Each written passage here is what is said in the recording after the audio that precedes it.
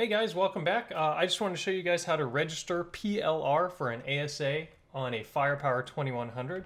So we'll get started. The first thing you want to do is navigate to software.cisco.com as is usual in these licensing videos.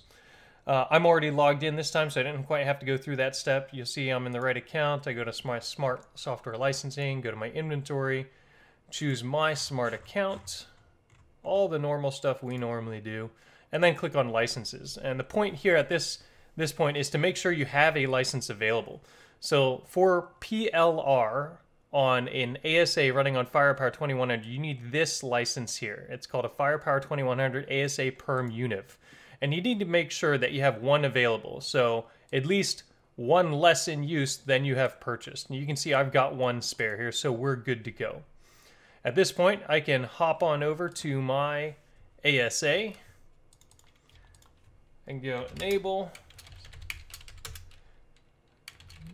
And if I can type right, I'll get the password. And then config T. Or actually, let's check the status, right? Because the first thing we want to do is verify we're always in a good known state. So I do show license all. It shows smart licensing is enabled. That's good. Shows license reservation is enabled. That's also good. Uh, and that it's unregistered in eval mode and that these are the licenses I want to use. All right, so we're going to go through the full process. There's two steps I'm going to show you that I don't have to do because my ASA is already in a good state, but I'm going to show you the whole process. So the first thing is license smart. And that enables smart licensing registration. So it now is telling me, hey, by the way, you've already requested entitlements, uh, even though I'm in license smart. So what I do typically at this point, when you have not already requested the license, is you type feature tier, standard. There is no other tier for ASA, but this is how you request to use the standard feature set. And then feature, for most of you guys, will be feature strong encryption.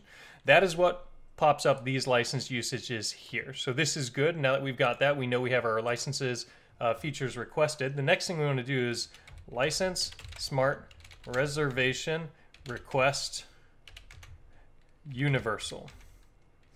All right, and this is where we start the actual reservation process. So my ASA now says, hey, I want to enable smart license registration uh, with PLR. So it gave me this code. I'm going to copy that code and go back to my software, that's cisco.com. From the license page under my virtual account and my smart account, I click license reservation. I take that reservation request code, I place it here in this box, and I click next.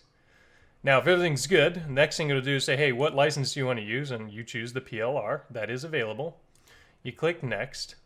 And then you click Generate Authorization Code after verifying that this is the serial number, the chassis, all that stuff.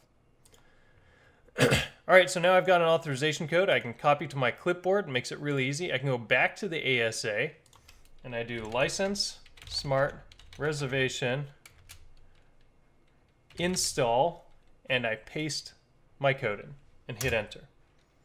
At this point, ASA is going to internally do a few checks make sure that's a valid authorization code for it and validate that that is a good key. So now if I do show license all, if everything's worked, I will see smart licensing enabled, license reservation, that is what allows PLR enabled, and that it's registered with the universal license, and that I've got the features that I requested.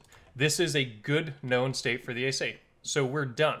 Now, the key is the split brain system, again, uh, back when I generated the authorization code, as far as the website is concerned, my ASA is licensed. So if on my ASA I never enter the authorization code, I somehow clear the smart licensing and cancel everything, then I could end up with this poisoned product instance where it's registered on the website, but the ASA considers itself not registered. So that's about it, guys. Have a good one. Enjoy.